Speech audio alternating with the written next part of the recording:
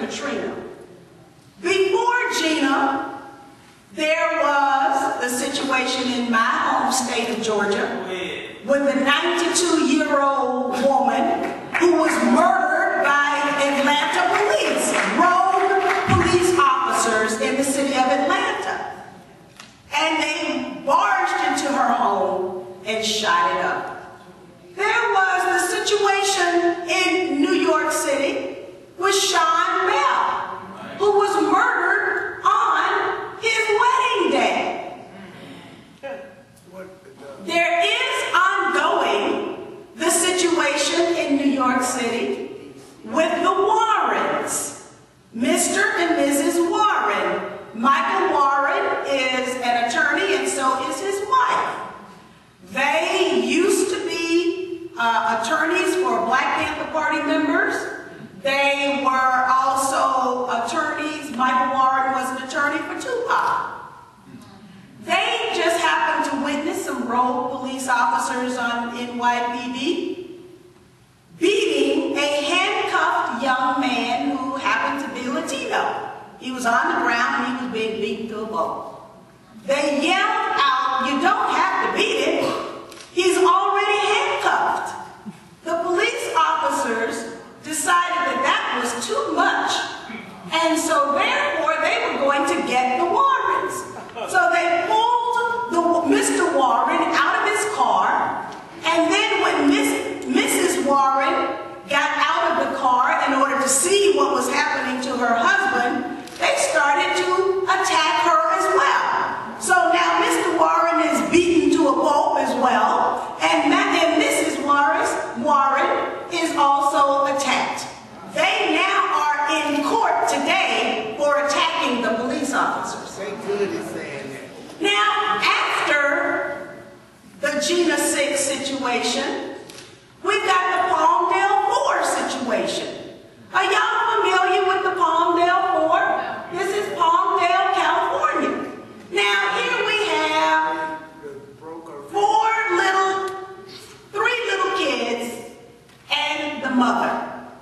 The um, little girl, there's a birthday going on, celebration, and the kids are doing what kids do in the cafeteria. And so I don't know if she dropped the cake or if they were throwing the cake, but the cake ends up on the cafeteria floor. And so the security guard didn't like how she picked up the cake. She didn't clean up the floor well enough, so he told her, go back and clean up the floor a little bit better. So she goes back and she cleans up the floor. By the time she finishes cleaning up the floor, it's time for her to go to class. So she goes to class. The police officer runs, the security officer runs down the hall, catches her, and then brings her back and tells her, I don't like the way you, you clean the floor. You've got to clean the floor better. So she, she cleans the floor better, but she says something to him like, I need to go to my class. And he doesn't like that. So he jerks the poor little girl up on the table, breaks her wrist, and um, the children are in the cafeteria and they start videotaping with their cell phones. This is happening. They also call the mother. And so then the security guard whips around and sees that he's being videotaped. So then he goes to attack the little kid who's videotaping him. The little kid who videotapes him then gives the, uh, my, my friend here seems to have all of these articles. Um, Students risk, parents protest the criminalization of black students. Yeah. And so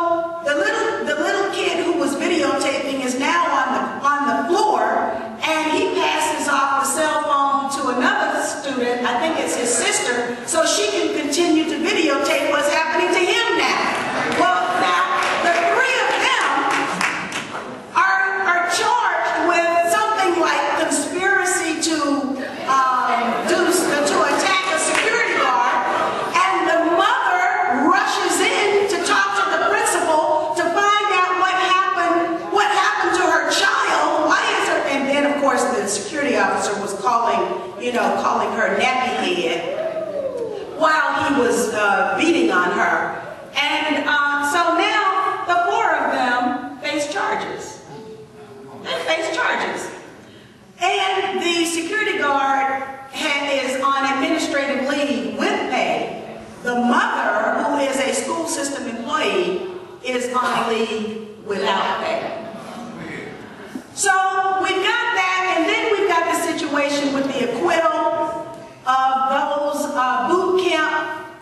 Um, uh, law enforcement people who were responsible for killing the little 14-year-old boy. And the attorney in that case said, kill a dog, you go to jail. Kill a black boy, and nothing happens. So now we know that Jena 6 really is the tip of the iceberg of what is happening in our country. And so now what are we going to do about it? One of the things that I was very happy to see was that the young people thought that they could do something about it.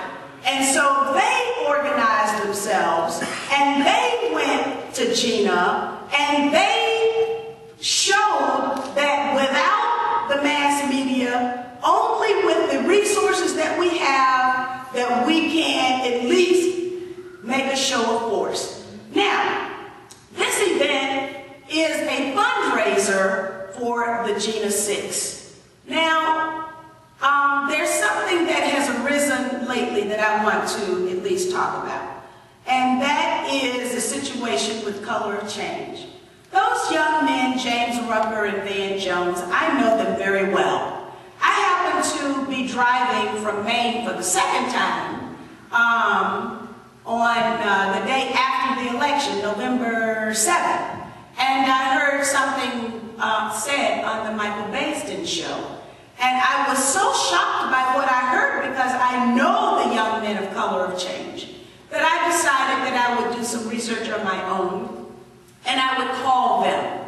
And sure enough, I spoke to them. On their website are the canceled checks totaling about $210,000 of the money that was raised by their organization that has been turned over to the attorneys. The attorneys have received about $210,000 from Color of Change as of October.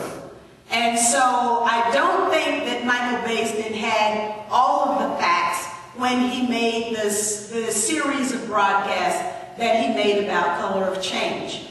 One of the things that's clear is that when our young people decide that they're going to do something, we really need to support them.